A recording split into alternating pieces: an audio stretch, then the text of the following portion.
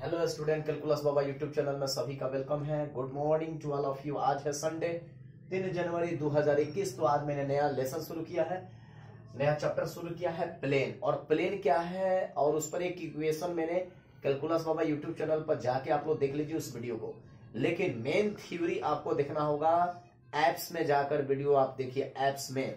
Main theory यहाँ है। Plane का थ्योरी एक्सरसाइज ग्यारह दशमलव तीन, अगर आप केसी से ना पढ़ते हैं, फिर भी इसी थ्योरी से आपकी क्वेश्चन बन जाएगी केसी से ना की। Normal to the plane is the direction cosines of the normal to the plane direction cosines of the normal to the plane की होती है formula a by under root a by under root a square b square c square comma b by under root a square b square c square c by under root a square b square c square अगर question में लिखा होगा, direction cosines of the normal to the plane आप ये ऐसे solve कर लीजिएगा question को।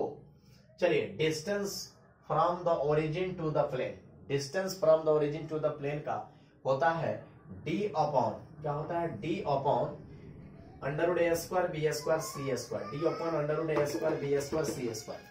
Distance from the origin to the plane origin word लिखा होगा तो ये थ्री देखिए नंबर थ्री नंबर थ्री क्या है हमारा थ्योरी देखिएगा।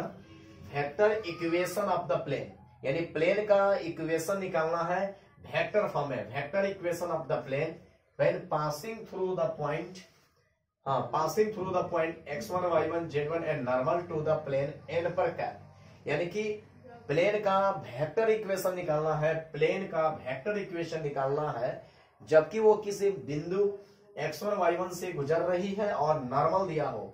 अविलंब दिया हो, प्लेन का नॉर्मल दिया गया हो एन पर कैप तो सूत्र लगाइएगा vector r minus vector a n पर cap is equal to zero ठीक है?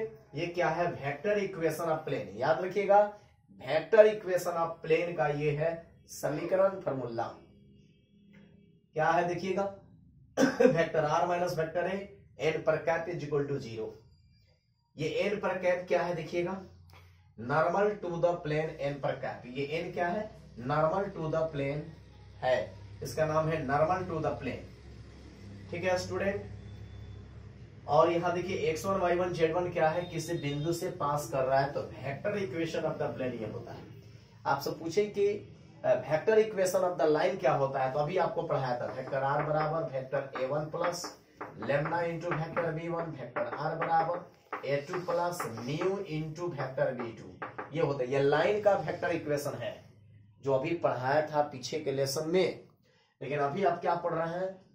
प्लेन का इक्वेशन पढ़ रहे हैं। Vector equation of the plane पढ़ रहे हैं। प्लेन का आप समीकरण निकाल रहे हैं वेक्टर फॉर्म में, यानी vector equation of the plane बोलते हैं, इसका नाम है vector equation of the plane ये क्या है? Distance from the origin to the plane मूल बिंदु से प्लेन की दूरी। मूल बिंदु से, जैसे माना कि यहाँ पर ऐसा है o x o y o z ठीक है? और यहाँ पर कोई प्लेन रखा हुआ है, यहाँ पर कोई प्लेन है। तो इसकी दूरी निकालना होगा, इसकी दूरी, ये सूत्र होती है, देखिए, ये सूत्र होती है, ठीक है? अब कह रहे कि direction cosines of the normal to the plane direction cosines of the normal to the plane direction cosines निकालना है। ये आपकी नॉर्मल हो गई, ये आपका नॉर्मल हो गया। अभी मैंने जैसे फिगर में पीछे के वीडियो में जाके देखिए कैलकुलस बाबा यूट्यूब चैनल पर। ये आपका नॉर्मल है। तो चारों, तीनों दिशाओं में क्या होगा? आपका डायरेक्शन को साइंस ये होगा। A by under a square b square पूछेगा डायरेक्शन को साइंस बताइए। To the normal direction cosines of the normal to the plane लिखा रहेगा। Direction cosines of the normal to the plane लिखा रहेगा। तो लगाइएगा ए बाई इतना बी बाई इतना सी बाई इतना। तीन थ्योरी अगले वीडियो में चार पाँच छह थ्योरी और भी देने वाला हूँ। चलिए नेक्स्ट